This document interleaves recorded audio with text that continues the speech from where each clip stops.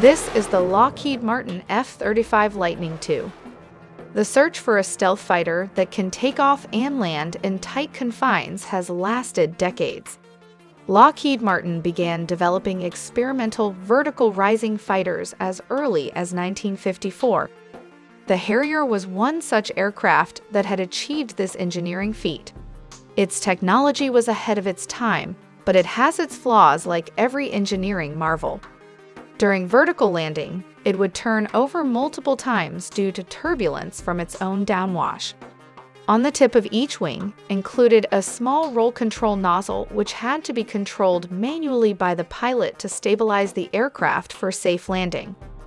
However, the F-35B short takeoff and vertical landing system, STOVL was an improvement combining vertical landing with long-range supersonic speed resulting in a stealthy, lightning-fast fighter capable of carrying modern weaponry. Let us look at the variants of the F-35, along with their differences.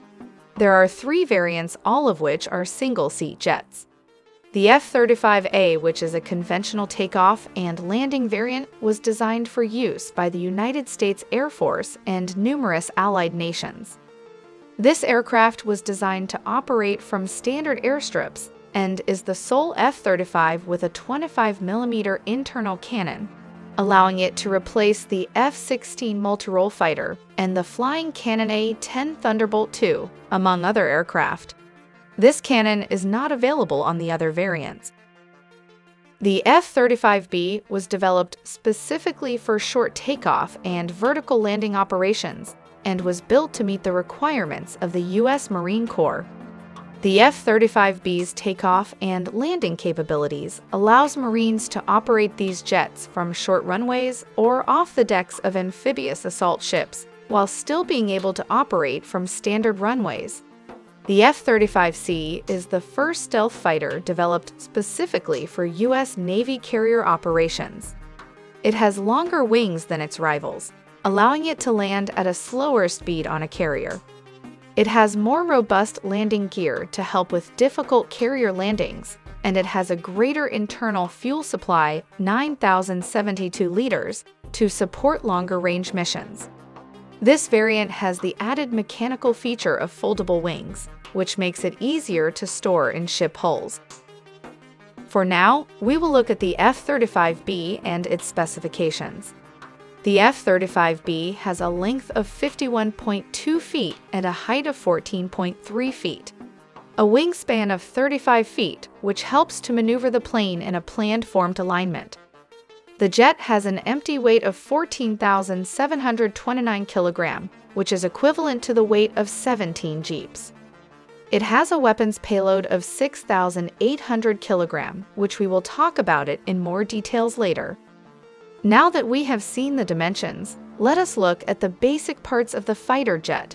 This is the nose of the F-35 and inside it is a Northrop Grumman, a N-APG 81 active electronically scanned array fire control radar, which is the world's most modern and capable radar and serves as the backbone of the F-35 Lightning Advanced Sensor Suite. Moving back, we have the canopy, which has been plated with an indium tin oxide layer to give it a golden sheen. This helps to keep it stealthy. This is the lift fan doors of the F-35. Inside it is a Rolls-Royce lift system that offers a STOVL short takeoff and vertical landing aircraft that is exceptionally durable and dependable. The Rolls-Royce lift fan is the heart of the F-35B's thrust vectoring capability. 29,000 shaft horsepower is delivered to the lift fan. The exhaust nozzle, which is connected to the main engine by a drive shaft, produces a downward flowing column of air at the front of the plane. At the back, the exhaust nozzle twists, aiming its push toward the ground for directional control. All of this is possible because of the Pratt and Whitney F135 afterburning turbo fan engine. It comes in two versions a conventional takeoff and landing CTOL type used in the F-35A and F-35C, and a two-cycle short takeoff vertical landing STOVL model with a forward lift fan used in the F-35B. Let's look at how this works. Air is sucked from both the rectangular intake ramp and fuel is sprayed into a segment of the jet pipe, where it mixes with the exhaust gas and ignites, resulting in a second stage of combustion.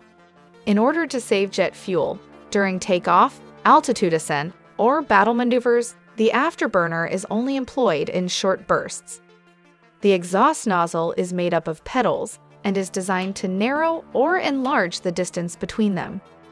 This is done to lessen the strain on the turbofan engines when they are in full afterburning mode.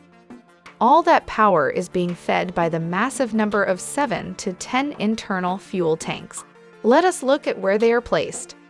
Fuel tank number 1 is located just behind the pilot seat. This is the fuel tank number 2 also known as center fuselage. This is fuel tank number 3 also known as engine feed tank. Moving back, we have wing carry-through, which fuel tank number 4, along with two fuselage vent tanks. On the wings are two massive fuel tanks on each side, also known as the wing fuel tank. Two more vertical fin vent tanks are located on the fins of the aircraft. Now let us look at the parts of the wing. Two rudders are located just above the tail fuselage. The two massive elevators are located further down. The lifting force can be decreased and appropriately increased since the ailerons have the ability to move up and down, while the rudders assist in moving the plane left or right. This is the elevators, which may be modified to make the aircraft move up or down. Check out our last video on how the wings work with the control surface in a very basic explanation, the FA-18 Super Hornet. As the name suggests, stealth fighter, let us look at how it was able to avoid most of the radar. Believe it or not, the shaping of the F-35 provides most of its stealth technology. This is known as planform alignment. This improved flight design orients key flight surfaces at the same angle. As a result, radar energy is scattered away from the plane rather than diffusing it, where it could still potentially be detected. This planform alignment has to be built from the ground up. The radar paint technology is still classified, but this is what we know from aviation experts, and what we learned is they used a radar-absorbing material RAM is a type of polymer-based material that is put to the surface of stealth military aircraft like the F-22 Raptor and F-35 Lightning II. This reduces radar cross-section and thus making them more difficult to detect by radar. Stealth with low visibility. The F-35's aligned edges, decreased engine signature, internal weapon and fuel carriage, and embedded sensors all contribute to its exceptional stealth. The F-35 has an unrivaled ability to elude adversary detection and enter contested airspace thanks to its stealth design from the start. Complementing the stealth technology are these hidden piece of engineering the AN/ASQ-239 electronic suite is at the heart of the F-35's electronic warfare system, a modular system that provides both defensive and offensive capabilities, ranging from the detection of hostile emitters to threat geolocation to the automated release of countermeasures, infrared flares, or radar reflecting chaff. Now let us look at the weapons capability of the F-35 stealth fighter. This is the electro-optical targeting system. This improves situational awareness for F-35 pilots and enables air crews to identify points of interest, conduct reconnaissance, and precisely launch laser and GPS-guided munitions. It is the first sensor to integrate forward-looking infrared and infrared search and track functions. The F-35 carries weaponry internally in stealth mode or externally in a permissive environment in a situation where they don't expect to have any threats to their safety from hostile forces. Externally, the JASSM will be carried by all variants of the F-35, enhancing reach, lethality, and survivability against heavily defended strategic targets, and increasing the ability to deter near-peer adversaries. Lockheed Martin created the AGM-158 JASSM, Joint Air-to-Surface Standoff Missile. a low observable standoff air launched cruise missile for the American Armed Forces. It is a substantial covert long range weapon with an armor piercing warhead weighing 450 kilograms or 1,000 pound. The AIM 120 AMRAAM can be carried by the inboard station. Flares, chaff, and code decoys are stored in two compartments behind the armament bays. The F 35 features two internal weapons bays with four weapon stations to maintain its stealth shape. The two outboard weapon stations can each carry 2,500 pound of ordnance, or 1,500 pound for the F-35B, while the two inboard weapon stations can carry air-to-air -air missiles. The Joint Direct Attack Munition, JDAM, Paveway Series of Bombs, Joint Standoff Weapon, JSOW, and cluster munitions are all air-to-surface weaponry for the outboard station. Now let us look at the $400,000 helmet. This is the helmet-mounted display, which gives the pilot critical flight information and sent directly to the visors. This is the integrated digital night vision device. The helmet is fed with data feed, which displays imagery from a set of six cameras mounted on the F-35 airframe, which moves along with the head of the pilot.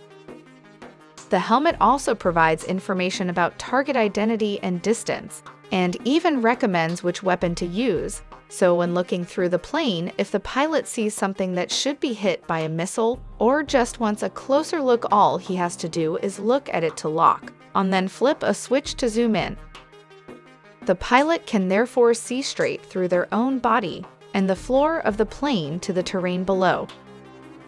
Do support your small content creators as we bring out videos like these.